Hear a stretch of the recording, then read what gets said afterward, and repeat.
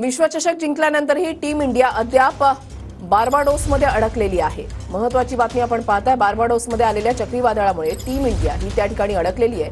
चक्रीवादळामुळे बार्बाडोस प्रशासनानं कर्फ्यू लावलेला आहे आणि कर्फ्यू लावल्यानं सर्व विमानांची उड्डाणं ही रद्द करण्याचा निर्णय घेण्यात आला आहे